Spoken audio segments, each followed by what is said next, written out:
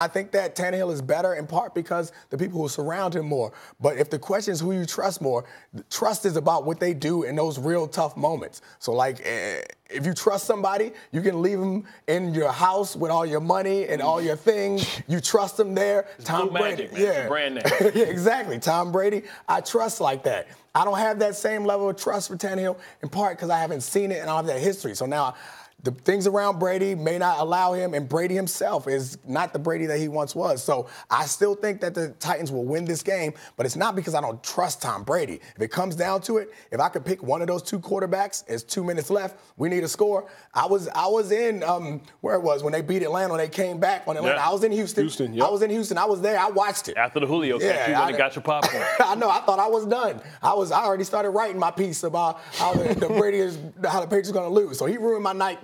I'm not gonna make a fool out of myself again. He's not as good as he once was, and I only I don't think he'll have as good a game as I think that Tannehill will have. But if there's one quarterback between these two that I trust more, it's obviously Tom Brady. Neek, I'm a, I'm a little disappointed, man, because that was one of your least convincing arguments I've ever heard in the history of uh, Domonique arguments. And that's a long lineage. It's, it's a long, it's a great, long history. Great history. I, I, trust Tannehill more, and it's easy for me. I trust Tannehill more because we have seen it more recently. You know, they clown on me, Rachel, for being young. So the problem with some of these old heads is they're like, oh, I remember when. I, I remember when, Tom Brady. No, no, no. Let's, let's, let's talk about right now. Tannehill, we just found out this morning, AFC Offensive Player of the Month because he gave you 12 touchdowns and two picks in this last month. 68% completion percentage. Meanwhile, Tom Brady, 58% completion percentage. Now, to Neek's point and to everybody on the set's point, we acknowledge the history of Tom Brady and his greatness. Not just the greatest football player, in my humble opinion, but probably the greatest winner in all of sports because of what he's done for so long with the Patriots.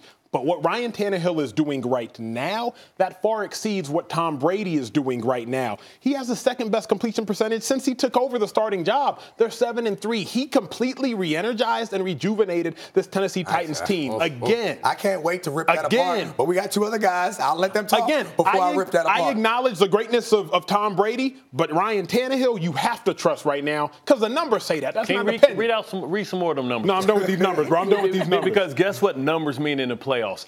Absolutely nothing. Yeah. I think football, more than any other sport, experience matters. And what do you do in the pressure moments? We haven't seen Tannehill in those moments because we've never seen him in the playoffs. I trust Tom Brady. I trust Bill Belichick with a one game plan specific to an opponent in Gillette Stadium. It's tough to win in that environment. Brady knows all the Jedi mind tricks. He understands how to catch you on. Listen, the playoffs. I gate or the, play gate? Which one? Well, well all those, all those, all those, all those. But what happens is time is of the essence in the playoffs. You you look up and you over, you know, you come out too hyped up. You know, you guys burn out. We see inexperienced teams, they play the game in their mind during during the during the week. They understand the pace and the time. And there's no situation that this Patriots team is going to be put in that they haven't been put in before. It's nothing that, you know, the Tennessee Titans are going to show them that they haven't seen before. You know, they're going in and not only facing the Patriots, they're playing the, the, the ghosts of Patriots past. And I don't know if Tannehill can go in that environment without the experience to be able to win those pivotal games because it's going to come down to one possession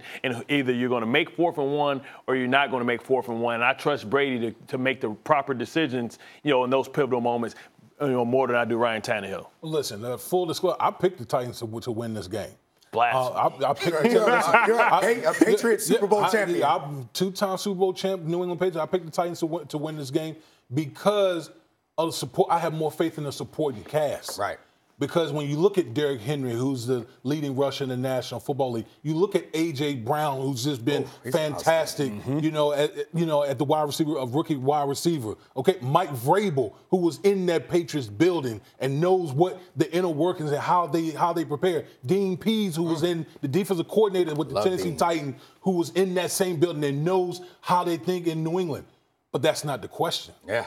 Okay. The question is, Preach. who do you trust? Who do you trust more? And when we talk about trust, and like guys have mentioned, it's about experience. Yeah. Okay. The one thing I've I've seen and I've witnessed for myself is I've seen and witnessed Tom Brady at his at his best in clutch situations. Now, is he playing like the Tom Brady that we've been accustomed to seeing in the past? No. Okay, whether it be his injury or just He's 42. He's not playing as well or supporting cast, but he's clearly not playing like the Tom Brady that we've seen. And Ryan Tannehill has been really like o- over the past great. seven games, he's been The best a top. quarterback He's in the been league. a top five quarterback. So let but me- in the, but in the but but in the biggest of moments, I'm gonna say this to you. I'm gonna point this to you, Acho. Mm-hmm. In the biggest of moments, if this game comes down to a two minute drive, That's the question. the t- a two minute drive, who are you trusting in Yeah. that two minute drive? Well, I mean, I'm not trusting Brady sending his supporting cast. No, but no, we no, no, can't no, because no. here- here's my here's my thing, Woody. And you said this earlier on in the show. And the thing about me is I pay attention to you, Woody, when you speak. You said you can't talk about the past. You got to talk about what have you done for me right now.